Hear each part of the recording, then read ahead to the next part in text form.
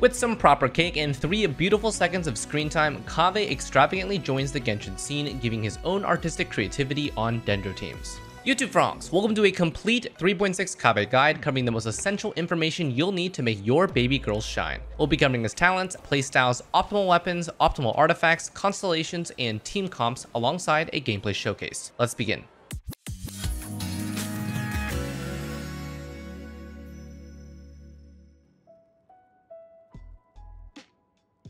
From C0 to C6, the core of Kaveh's kit centers around his affinity for Dendro cores and his burst Dendro infusion. While he can work with all bloom related damage, he primarily synergizes with just the Dendro cores themselves and not their Hyperbloom or Burgeon extensions. His normal charge attacks are a unique twist on Claymore users, wielding them almost like a catalyst instead of an actual heavy sword. In doing so, Kaveh achieves a sense of elegance when performing attacks, and makes using charge attacks look effortless like a helicopter or a Borpa spin. His skill is a simple radar scanning ability responsible for immediately exploding Dendro cores like Nilou's passive, dealing AoE Dendro damage and generating particles. With his burst, Kaveh enters a Dendro infusion state, and also boosts Dendro core damage much like Nilou's passive. In many ways, Kaveh incorporates a lot of Nilou's niche use, but in his own specific ways. Let's take a closer look at his abilities. Kaveh's first priority talent investment, Painted Dome is responsible for normal, charge, plunging Dendro infusion, and increased Dendro core explosion damage. He first explodes all Dendro cores in his burst area, then gains these enhanced combat abilities for 12 seconds, during which he has increased interruption and activates his A4 passive, further increasing his elemental mastery by up to 100 after performing those normal charge plunge attacks. As he loses these effects when swapped off-field, Kaveh's primary role is to remain on-field and consistently attack, using his Dendro Infusion and Elemental skill to constantly generate more cores. With a 20 second cooldown and 80 energy cost, Kaveh's burst is relatively expensive, but less noticeable since his on-field playstyle allows him to personally collect most energy orbs. Instead of usual 200% requirements for off-field supports, Kaveh can get away with 160% or less. Elemental skill, Kaveh's second priority talent investment, Artistic Ingenuity is a beautifully simple ability resembling those circle drawing compasses, dealing AoE Dendro damage and applying AoE Dendro application, generating two Dendro particles and exploding all Dendro cores in its range instantly. Combined with his Ascension 1 passive, you don't have to fear Dendro Core's self-damage, as Kaveh gracefully heals some of the damage back up proportional to his total elemental mastery. With a 6 second cooldown and Kaveh's on-field playstyle, this ability gets on cooldown use and typically gets 2 to 3 activations per his burst. Normal charge attack. While he is on the field and will be using normal attack consistently, they are used for Dendro application rather than damage, so his talent level here is not inherently that important. All of his multipliers here are attack scaling, and so for the most part you won't be leveling them unless you decide to run it on-field spread DPS Kaveh. Talent investment is very straightforward. Elemental Burst over Elemental Skill over Normal Charge Attack. Technically, only his Elemental Burst needs to be leveled to increase the Dendro Core bonus damage for a Bloom focused build, as his Elemental Skill and Normal Charge Attacks only increase his damage multipliers which scale off of attack. If you decide to run Spread DPS Kaveh, then all three of his abilities should be leveled up in that order. Now, Kaveh's playstyle is pretty simplistic. In both a Bloom or a Spread team, Kaveh is the on-field protagonist, activating his burst to infuse his attacks with Dendro, quickly stacking his Ascension 4 passive for free 100 Elemental Mastery, and then using his skill on cooldown or whenever there's cores available to pop.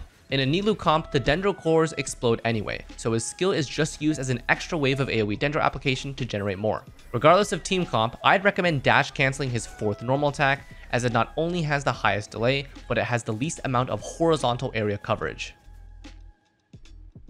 Weapons. When building Kaveh, he primarily only cares about two stats, Elemental Mastery and Energy Recharge. If you do decide to run Spread Kaveh DPS, you know what to do. Between EM and ER, I usually prefer ER weapons, as their passives are generally much more valuable than those on Elemental Mastery. Depending on whether you run an ER or EM weapon, your timepiece will alternate, EM or ER, to fit his overall stat needs. My personal preference is running Favonius Greatsword for a huge energy recharge stat stick as well as a utility passive for the team. And though the passive does need reasonable crit rate to activate consistently, I found that running only 20 to 30% is enough since not only is he primarily on field during his burst, his normal attacks and skill are pseudo AoE and give many chances to proc every 6 seconds. My current build on Favonius runs 28% crit rate, and I have not noticed any long-term problems with his Favonius proc rate. Other energy recharge weapons with decent value include Forest Regalia, energy recharge stat stick, and an elemental mastery leaf that Kaveh himself can pick up. Sacrificial Greatsword, also an energy recharge stat stick though much less amount, and provides more activations of his elemental skill.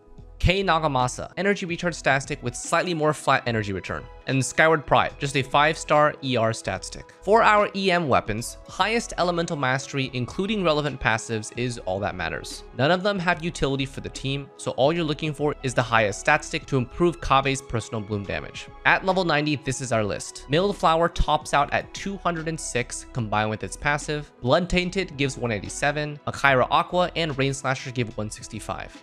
And then for spread DPS, prioritize your highest crit rate or crit damage weapon to enhance overall spread damage.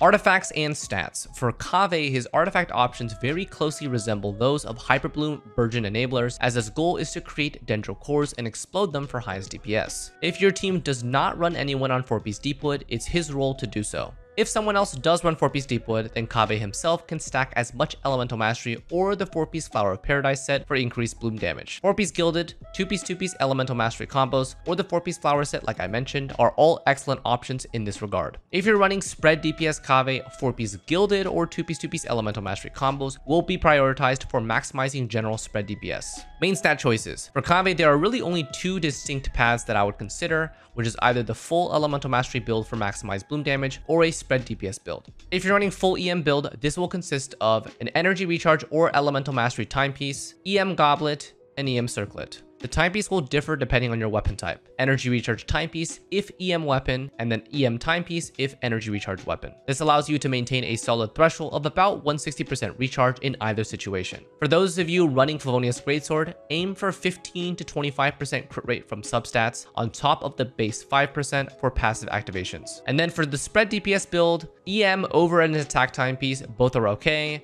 Dendro Goblet, and a Crit Circlet. This is your standard spread DPS build, and Kaveh does not deviate. Recommended stats. So we've discussed his weapons and artifacts. Let's combine these to create a template build. Like most Dendro units, level 90 is highly recommended for Kaveh to maximize his base bloom damage, EM ascension stat, and base spread DPS. The only two stats that really matter on him are his total EM and amount of recharge. If you decide to build him spread DPS, you will also consider his crit rate crit damage to be decent ratio. Most likely you will be achieving 60 to 120 here if you're doing spread DPS. For me, I'm using a Favonius Greatsword at R5, and my Kaveh sits at a comfortable 840 elemental mastery with 210% recharge. In general, for EM, as high as you can possibly get. I really wouldn't expect anything under 700 though for blooms. My energy recharge ended up way above the recommendation of 160%, so don't worry if you can't achieve this. And then lastly, just above 20% crit rate for Favonius procs. Overall, his build path is pretty simplistic and only requires two effective stats to make worth. The most difficult part of this build is probably getting the EM main stat artifacts.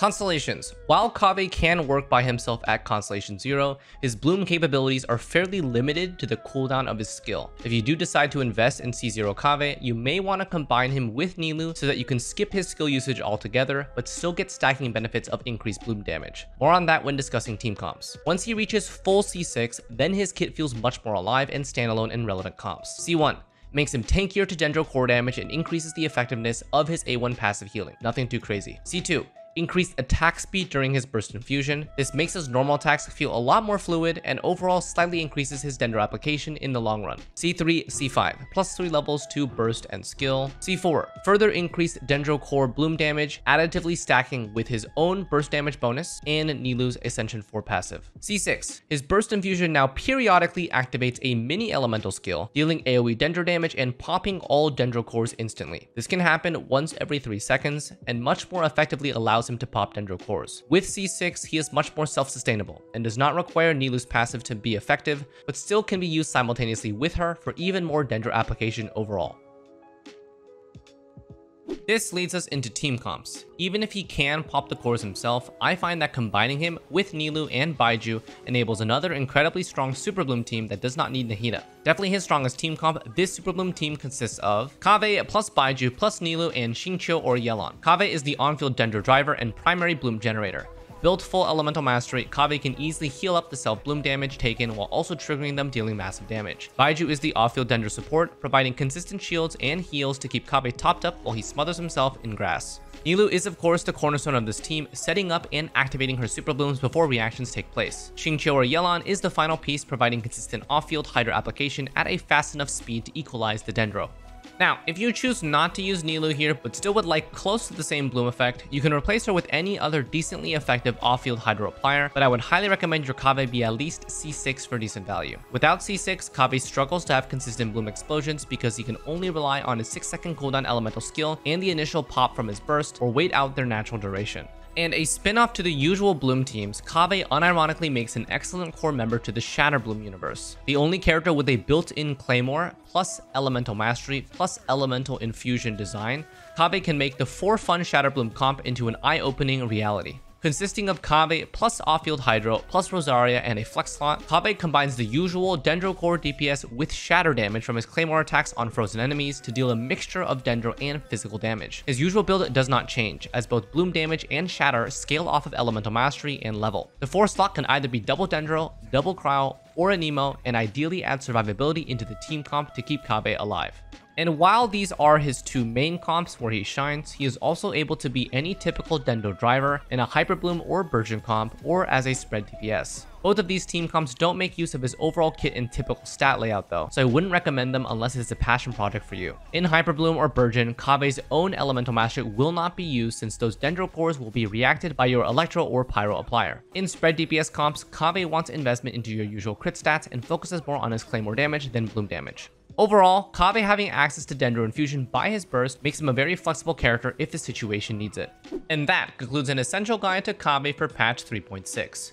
Boasting an elegant protagonist energy, Kaveh proudly smacks enemies around with his claymore, whether it's to shatter their dreams, force them to touch grass, or just to survey the area. While I do recommend C6 for investment value, C0 is more than capable of achieving greatness and showing off his baby girl elegance. Wishing all Kaveh wanters become Kaveh havers. If you enjoyed this video, feel free to like and subscribe, and as always, thanks for watching, let me know what you think of him in the comments, and we'll see you next time. Take care.